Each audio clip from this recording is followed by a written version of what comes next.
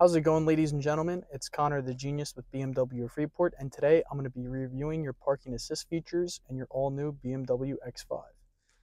So, we're going to start off by putting the car in drive, and we're going to slowly drive around a parking lot.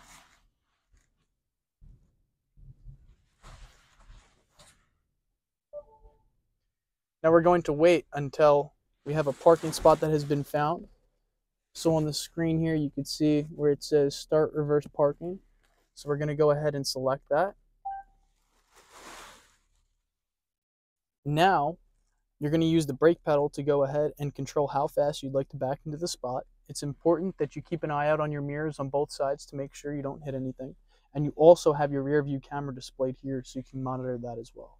So we're gonna go ahead, take our foot off the brake, and we're gonna let the car do the rest of the work for us.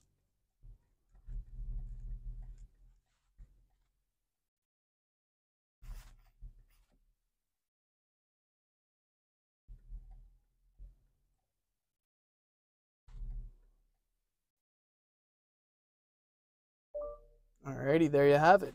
So the car will actually put itself in park for you, and the parking has been complete. Thank you for watching.